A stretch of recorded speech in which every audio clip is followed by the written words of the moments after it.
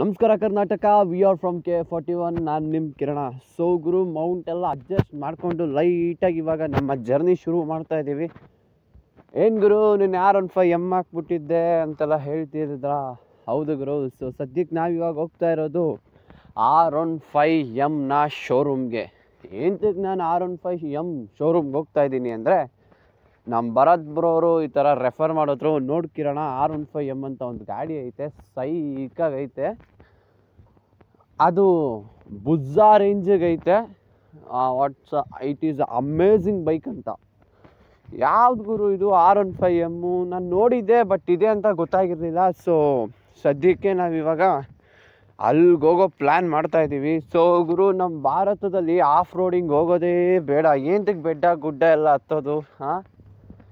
ಹೇಳ್ರಿ, ನಮಗೋಸ್ಕರನೇ ಪಾಪ ಸರ್ಕಾರದವರೆಲ್ಲ ಮಾಡಿಕೊಟ್ಟಿಲ್ವ? ಎಲ್ಲಂದ್ರಲ್ಲಿ ರೋಡ್ ಆಗ್ದಿಲ್ವೋ? ಅಲ್ಲೆಲ್ಲ ಆಫ್ ರೋಡಿಂಗೆ ಫುಲ್ಲು ಜಲ್ಲಿ ಕಲ್ಲು ಮಣ್ಣು. ಹತ್ಕೊಂಡು ಏರ್ಕೊಂಡು ಹೋಯ್ತಾ ಇರುವಂಥ ಸೊ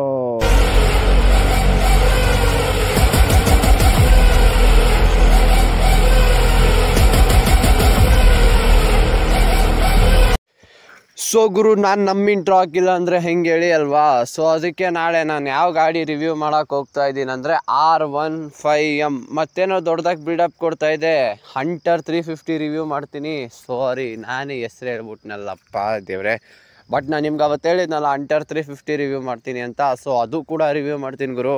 ಇಷ್ಟರಲ್ಲೇ ಸೊ ಸದ್ಯಕ್ಕೆ ನಾವಿವಾಗ ನೋಡ್ರಿ, ಹೆಂಗೆ ಹೋಗ್ಬೇಕಂತ ದಾರಿನೇ ಕನ್ಫ್ಯೂಸ್ ಆಗ್ಬಿಟ್ಟೈತೆ. ಬಟ್ ಡೈಲಿ ಓಡಾಡ್ತೀನಿ, ಒಂದು ವಾರಕ್ಕೆ ಮೂರು ಸತಿ ನಾ ಈ ರೋಡಲ್ಲಿ ಬರ್ತೀನಿ. ರೋಡೇ ಗ್ಯಾಪ್ನ ಬರಲ್ಲ ಗುರು. ಯಾಕೋ ಏನೋ ಗೊತ್ತಿಲ್ಲ. ಅಯ್ಯೋ, ಥೂ. ಮತ್ತೆ ಒಂದು ಯೂ ಟರ್ನ್ ತೊಗೊಂಡು ಹಂಗೆ ಸ್ಟ್ರೈಟ್ ಹೋಗ್ಬೇಕು ನಾವು. ಆ್ಯಕ್ಚುಲಿ ಹೇಳ್ಬೇಕಂದ್ರೆ ಬಟ್ ನಾನು ಪ್ರತಿ ಸತಿ ಹಿಂಗೆ ಬರ್ತೀನಿ.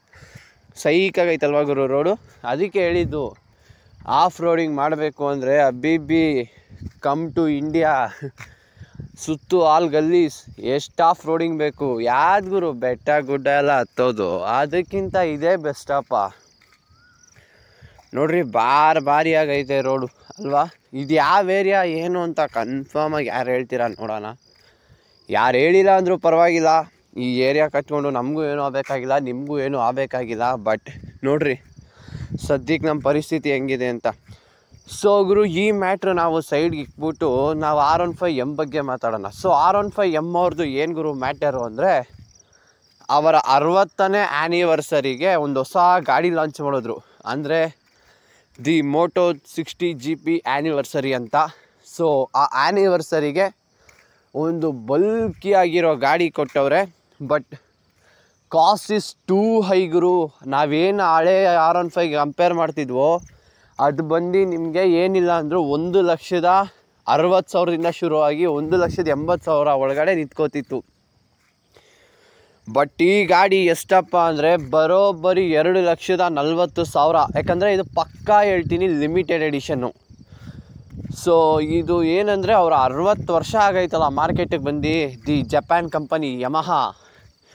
So ಅವರ ಒಂದು ಕೊಡುಗೆ, ಬಟ್ ಸಖತ್ತಾಗೈತೆ ಗುರು. ಗಾಡಿ ಮಾತ್ರ ಔಟ್ಲುಕ್ಕು ನಾನು ನಿಮ್ಗೆ ತೋರಿಸಿರ್ಬೇಕು. ನಿನ್ನೆ ಆಲ್ರೆಡಿ ಯಾರ್ಯಾರು ವೀಡಿಯೋ ನೋಡಿದಾರೋ ನಾಳೆ ಏನಾಗುತ್ತೆ ಅಂತ ಅವ್ರಿಗೆ ಕನ್ಫರ್ಮಾಗಿ ಗೊತ್ತಾಗುತ್ತೆ. ಸೊ ನಾನು ನಿಮ್ಗೆ ಆಲ್ರೆಡಿ ನೋಡಿದ್ದೀರಲ್ಲ ಆ ಗಾಡಿನ ಇನ್ನೇನು ಕೆಲವು ಕ್ಷಣಗಳಲ್ಲಿ ನಾನು ರಿವ್ಯೂ ಮಾಡೇ ಮಾಡ್ತೀನಿ. ಬಟ್ ಈ ರೋಡ್ಗೂ ಆ ಗಾಡಿಗೂ ಏನೂ ಸಂಬಂಧ ಇಲ್ಲ. ನಾನು ಇನ್ನೊಂದು ಸ್ವಲ್ಪ ಮುಂದೆ ಹೋಗಬೇಕು. So love you take care bye-bye